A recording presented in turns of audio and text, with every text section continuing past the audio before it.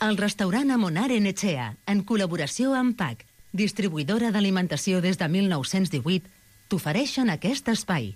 De plato a plato, con Ainguero Rodríguez.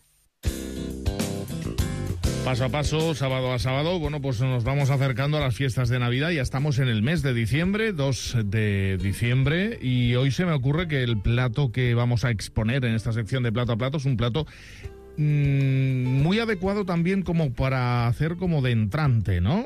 Anguero Rodríguez, Es- ¿cómo estás? Buenos, días. Es, es- es un plato que sin abusar es un plato ideal para compartir.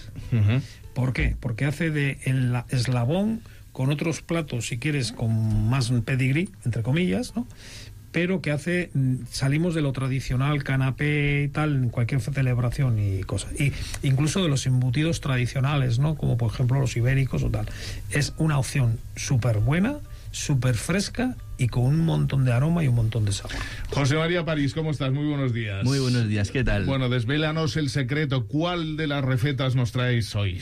Eh, bueno, hablamos un, un- un plato ideal para compartir, pero peligroso porque cuando no te das cuenta ha volado todo ya. ¿No? Cecina, ¿eh? La cecina, ¿no? Un buen plato que puede sustituir o compaginar muy bien los ibéricos, los quesos, un buen entrante para compartir en estas fechas, ¿no? Que, que son, pues, oye, cenas de empresa, cenas familiares, cenas de amigos. Pero hay que decir que es cecina de buey. De buey. Cecina ¿eh? de buey. De buey, auténtico. Y encima de Caidesa. Y encima de caidesa. Es que caidesa. aquí Carlos echa el resto.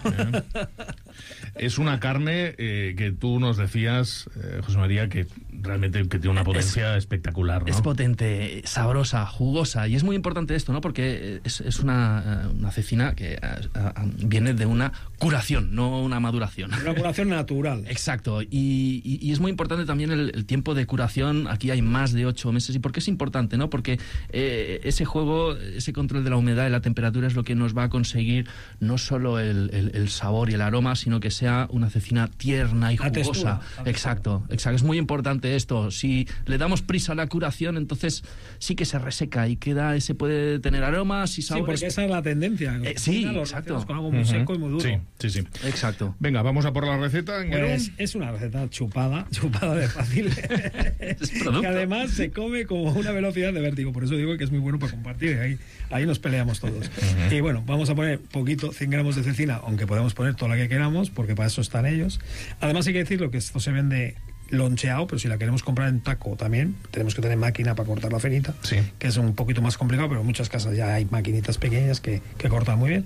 Y bueno, pues yo aquí lo voy a acompañar. A mí me gusta un poco mm, romper los platos tradicionales de ponerle algo más, ¿no? Y en este caso un- vamos a hacer unas lonchas de tomate fi- de tomate, pero muy muy muy finas cortadas. Y las podemos cortar a máquina mejor. Y si no con un cuchillo jamonero o algo que las podamos cortar muy finitas, para vamos a poner a modo de carpaccio, que no es un carpaccio, vamos a y le vamos a poner esa pimienta molida al gusto, el, la pizca de sal y el aceite a ese tomate, ¿no?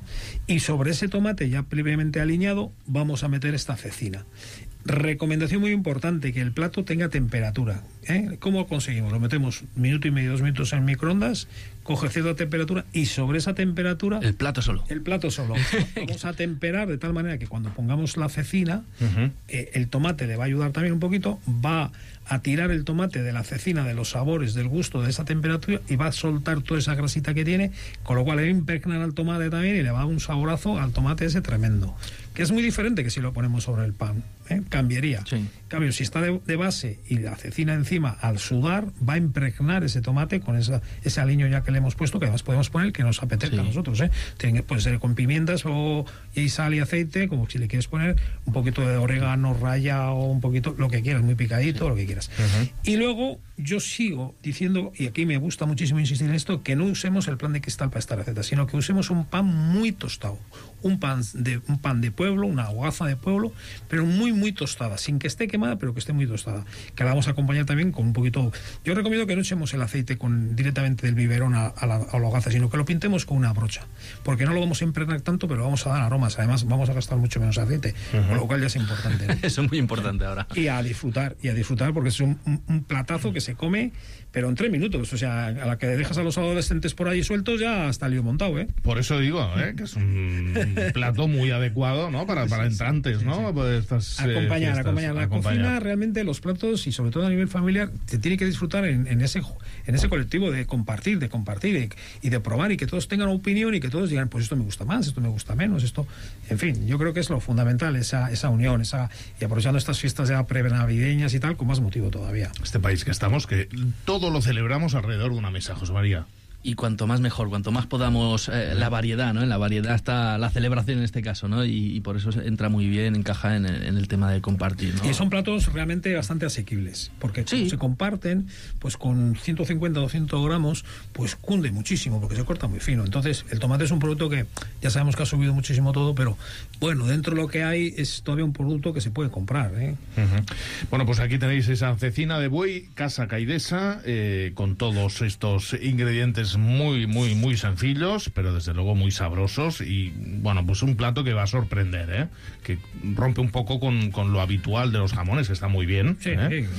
Pero bueno, que sea... Y, y que se puede combinar. ¿eh? Sí, Exacto. sí, sí, sí, es otra posibilidad más. Está muy bien. No se descarta lo demás. No, no, nunca, el jamón nunca hay que descartarlo, ¿eh?